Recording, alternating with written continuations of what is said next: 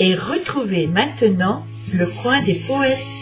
Présenté par Arlène et Manu.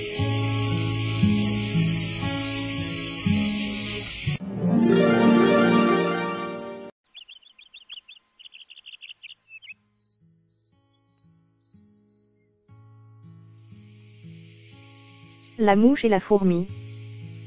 La mouche et la fourmi contestaient de leur prix. Ô Jupiter, dit la première. Faut-il que l'amour propre aveugle les esprits d'une si terrible manière? Qu'un vil et rampant animal. À la fille de l'air ose se dire égal. Je hanque les palais, je m'assieds à ta table, si l'on t'immole un bœuf, j'en goûte devant toi, pendant que celle-ci, chétive et misérable, vit trois jours d'un fétu qu'elle a traîné chez soi. Mais, ma mignonne, dites-moi.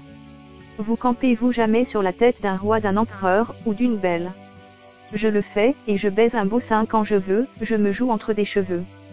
Je rehausse d'un teint la blancheur naturelle, et la dernière main que met à sa beauté. Une femme allant en conquête. C'est un ajustement des mouches empruntées. Puis allez-moi rompre la tête. De vos greniers. Avez-vous dit? Lui répliqua la ménagère. Vous hantez les palais, mais on vous y maudit. Et quant à goûter la première de ce concert devant les dieux, croyez-vous qu'il en vaille mieux? Si vous entrez partout, aussi font les profanes.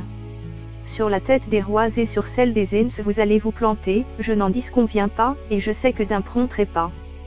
Cette importunité bien souvent est punie. Certains ajustements, dites-vous, rend joli. J'en conviens, il est noir ainsi que vous et moi. Je veux qu'il est non mouche, est-ce un sujet pourquoi vous fassiez sonner vos mérites? Nomme Théon pas aussi mouche les parasites.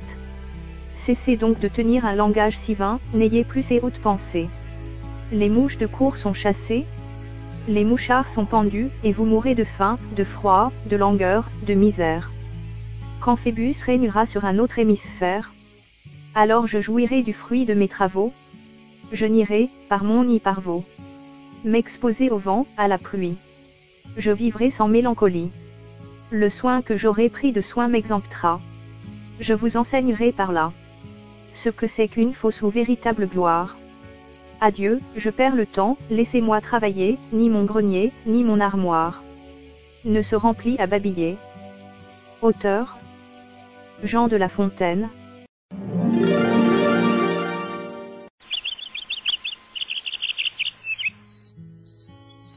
Vous venez d'écouter la chaîne des bons trucs.